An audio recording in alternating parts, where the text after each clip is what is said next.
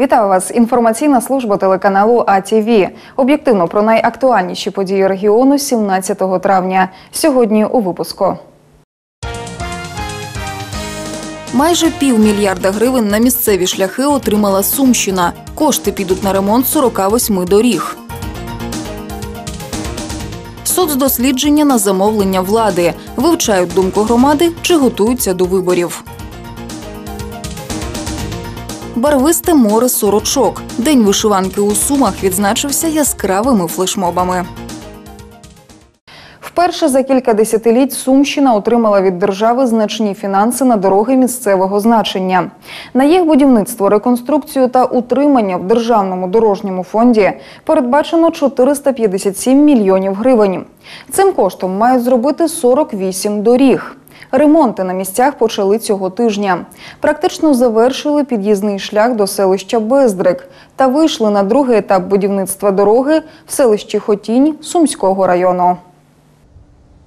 Вже декілька днів по вулиці Центральній в селищі Хотінь кипить робота. Ділянка дороги Миколаївка Кровне Хотінь дочекалася нового народження. До цього говорять місцеві. Тут і пішки було ходити важко. Державні, ну слава Богу. А то ями такі, що не можна було й ходити. Ми навіть довольні і раді, що це таке зробили для нас. Добро. Сьогодні стала край необхідність, тому що велика кількість населення проживає, одна третя проживає саме тут, віддалено, в сторону Кровну. Там є зупинка. І проблема виникла в тому, що перевізник відмовлявся, автобус просто не доїжджав. І люди з дітьми не могли туди ходити. І дякуючи е, правильній позиції нашої обласної ради, обласної адміністрації, ми е, знайшли, е, як би сказати, порозуміння. На ремонт центральної вулиці селища Хотінь виділили 2 мільйони гривень. За цей кошт зроблять 300 метрів якісного покриття. Сучасна техніка, дотримання технологій. Підрядники зобов'язуються здати об'єкт найближчим часом. На даний момент е, виконується поточний ремонт даної ділянки, яка е, по об'єму 1920 метрів квадратних. Вже виконаний нижній шар із типу Б крупнозернистий середньою товщиною 10 см. Даний момент виконується верхній шар з типу Б дрібнозернистий, е, товщина 5 см. Укладка асфальтобетону закінчиться сьогодні. Е, Всі ну, розмітка, знаки будуть закінчені в цьому тижні, на цьому місяці. Цьогоріч в Хотіні буде зроблена і центральна дорога. Хто виконуватиме роботи на суму 10 мільйонів, визначить тендер. Загалом, говорить очільник управління інфраструктури, Сумщина отримала 457 мільйонів гривень на дороги місцевого значення. Тоді як минулого року було лише 35 мільйонів. Ми передбачили на ремонт доріг комунальної власності 91 мільйон. Це по населеним пунктам нашої області, по містам і селам. Е, 230 мільйонів е, гривень на поточний середній ремонт саме доріг е, е, місцевого значення. Крім цього, 137 мільйонів гривень передбачено на експлуатаційне утримання автомобільних доріг місцевого значення. Е, В тому числі з цих 137 мільйонів гривень, 85 мільйонів гривень це буде, будуть кошти на дрібний ямковий ремонт. І оці 230 мільйонів гривень, які передбачені на дороги місцевого значення, насправді це буде 48 доріг місцевого значення. Е, І загальна протяжність е, відремонтувати зможемо десь близько 70 кілометрів.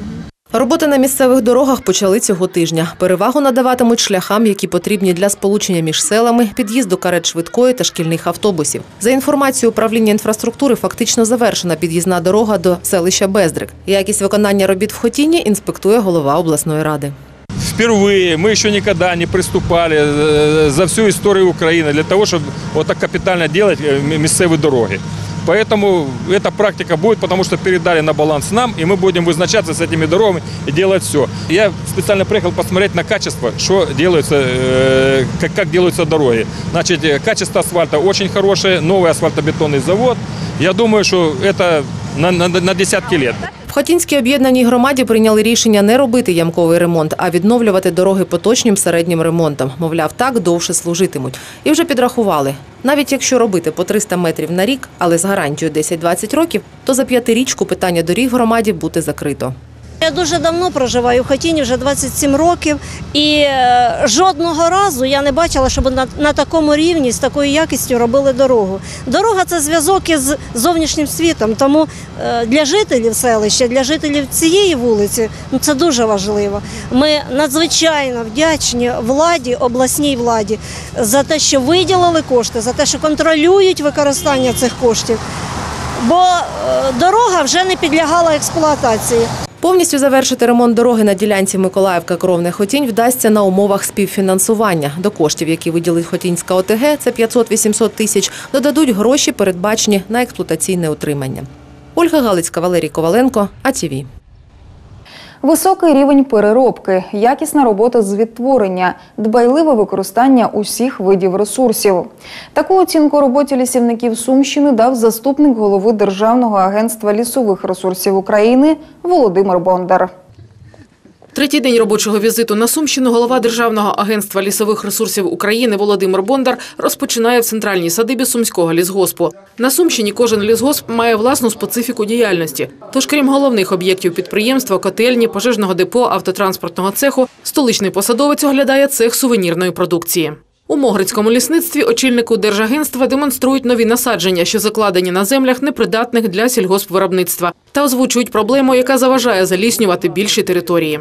Вопроси стояли, зараз стоять, вже немає на гектара землі, ніхто не передає або розпайовані, або придержують атовцям і так далі. В общем, трудності з полученням землі. Уже б такий ліс ріс, оце, оце далі, той під ліс, ой, під поле. Е, 142 гектара тут зробили красотіще. Ну і тут про- такі проблеми були поки оформлені. У Могрицькому лісництві демонструють роботу трилювального трактора. Тут будують нову дорогу лісогосподарського призначення майже 3,5 кілометри. Транспортна мережа це лише частина планомірної роботи по всіх лісах області. З початку будівництва лісових доріг в Сумській області побудовано 250 кілометрів з твердим покриттям. В Сумському лісгоспі, де майже 40 кілометрів доріг створено за останній час. Це дороги ну, відповідають е, доволі високому рівню, дають можливість рухатись транспорту легковому, вантажному. Поряд із заготівлею промислової деревини головне завдання відтворення лісу. У піщанському лісництві демонструють молоді плантації дуба. Зрубавши ліс суцільною, е, рубкою, ми повинні в першу чергу створити нові ліси. Якраз е, от на базі Сумського лісгоспу, аби досягнути е, доброго стану лісових насаджень з головною породою дуб, потрібно дуже прикласти багато зусиль. На плантаціях у піщанському лісництві вправно працюють потужні лісові подрібнювачі. Фахівці говорять, на Сумщині активно запроваджують нові технології, що замінюють важку ручну працю. Лісова галузь є однією з пріоритетною в надходженні до місцевих бюджетів. І, наприклад, у північних районах Сумської області, мабуть, основна професія це лісівник. Це і робочі місця, це і знову ж таки податки, це і підтримка місцевого бізнесу. У Великобобрицькому лісництві ДП Краснопільське лісове господарство на території базового лісового розсадника більше 200 декоративних культур. Їх вирощують для створення ландшафтного дизайну і озеленення. Тут знаходиться і унікальний ландшафтний заказник місцевого значення урочище образ, славне унікальними цілющими властивостями місцевого джерела. На території центральної садиби державного підприємства Тростянецьке лісове господарство Володимир Бондар взяв участь у відкритті єдиного офісу для трьох лісництв та озвучив підсумки свого перебування на Сумщині. Достатньо високий рівень ведення лісового господарства ми побачили на Сумщині. Е, Ми бували і в лісі, ми дивилися, і лісові культури ми дивилися, і переробку ми дивилися, як організоване виробництво. Кожне питання, яке є сьогодні, воно економічно обґрунтоване. Ми починаємо говорити, е, я ще раз кажу, від ведення лісового господарства до переробки, до облаштування е, загалом от лісництв, лісгоспів наших. Всюди присутня економіка, всюди присутній розрахунок, всюди є елемент того, що нам вигідно, що не вигідно. Це дуже добрий підхід на сьогодні, тому що кожна копійка вона заробляється в лісовому господарстві. Наостанок у литовському лісництві на Тростянеччині Володимир Бондар оглянув рекреаційний аспект діяльності лісівників області, базу відпочинку лісовичок, де щодня відпочиває до тисячі людей. Наступною голова державного агентства інспектуватиме Харківську область. Тетяна Полозова, Валерій Коваленко, АТВ.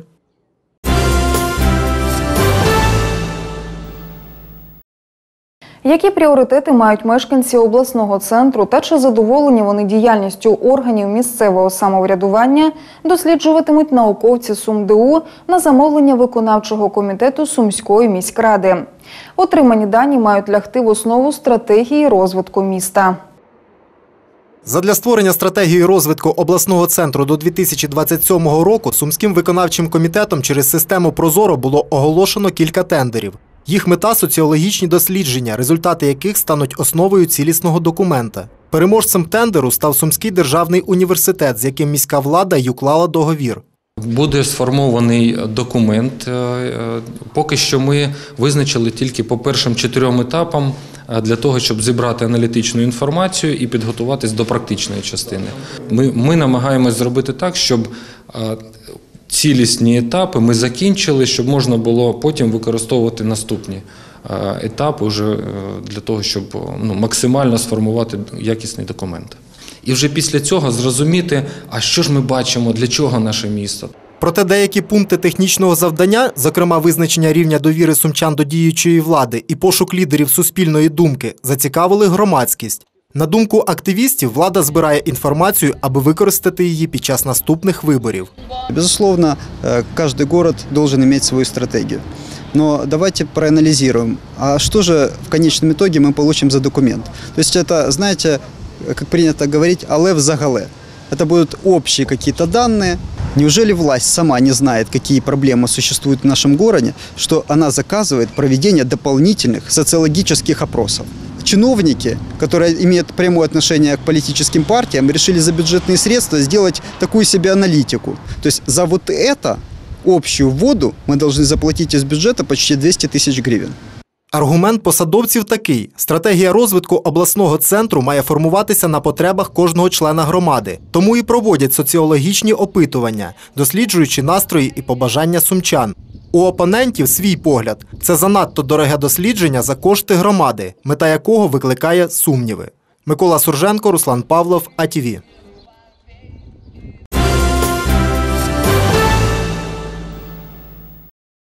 Безоплатна підтримка юристів для людей з вадами зору. Фахівці українсько-канадського проєкту Доступна та якісна правова допомога в Україні розробили буклети, де шрифтом Брайля надрукована інформація про права громадян та шляхи їх захисту. Брошури розповсюдять в організаціях товариства сліпих, у закладах, де навчаються незрячі люди, а також у всіх центрах надання безоплатної правової допомоги. В Україні діє понад півтисячі центрів безоплатної правової допомоги, де громадяни мають змогу безкоштовно отримати консультації та низку послуг щодо захисту своїх прав у суді. Проте є категорії населення, яким скористатися допомогою центру складно через стан здоров'я. Це люди на візках, прикуті до ліжка і особи з вадами слуху та зору. Саме для останніх створили буклети, де вся необхідна інформація надрукована шрифтом Брайля. На сьогодні ми, Центр безоплатної, безоплатної правової допомоги, система зробила ще один крок для того, щоб ці люди з обмеженими вадами все ж таки дізналися про систему безоплатної правової допомоги. Шрифт Брайля – це рельєфний шрифт, де всі літери вибиті у вигляді крапок, аби людина, яка не бачить, могла прочитати за допомогою дотиків пальців.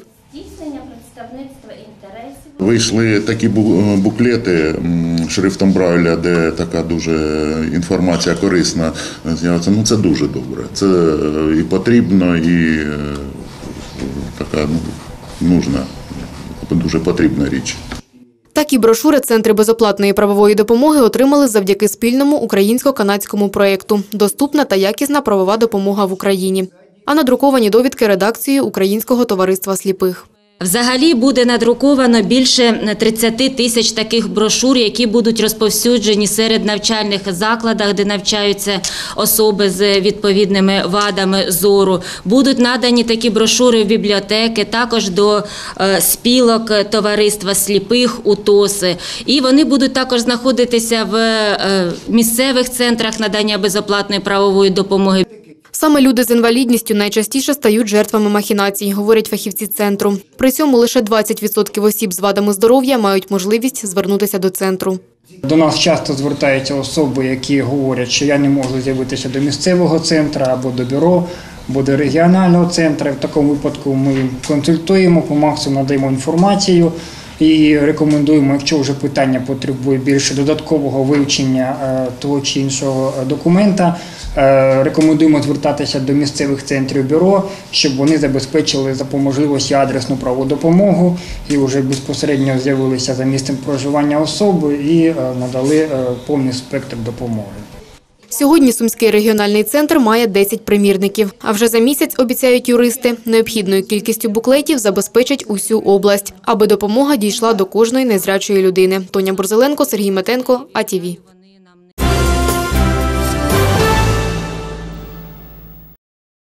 Робити добрі справи просто. Це вкотре доводить Приватбанк і його клієнти з усієї України, які назбирали через термінали, банкомати та Приват24 кошти на дороговартісне обладнання. Цього разу для Тростянецької районної лікарні.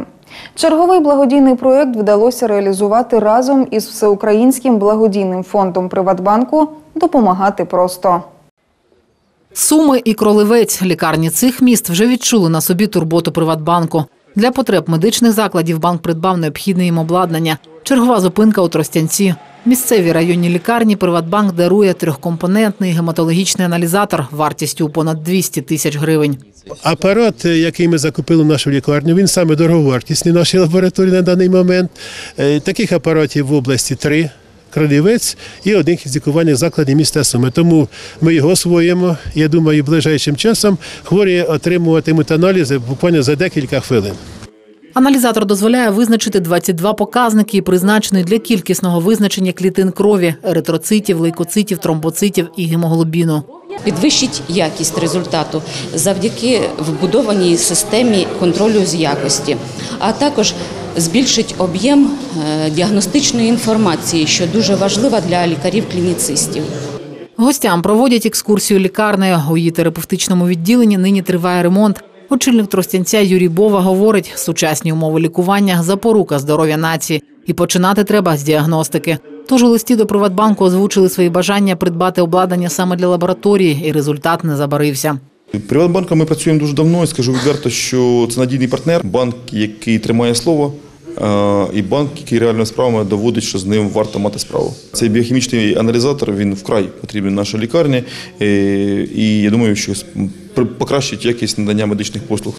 У свою чергу директор сумської філії Приватбанку дякує всім клієнтам, адже їх активність і небайдужість є головними у зборі коштів. До слова, внески на підтримку програм фонду Приватбанку допомагати просто у 2017 році зробили майже мільйон українців, які назбирали понад 40 мільйонів гривень.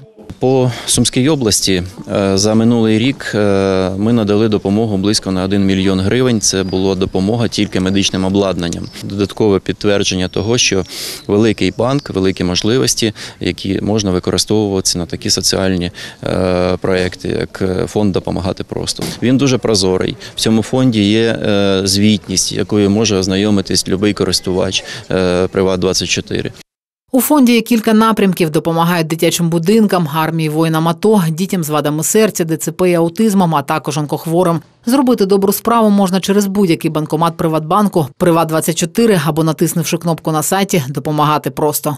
Анна Світлична, Руслан Павлов, АТВ. –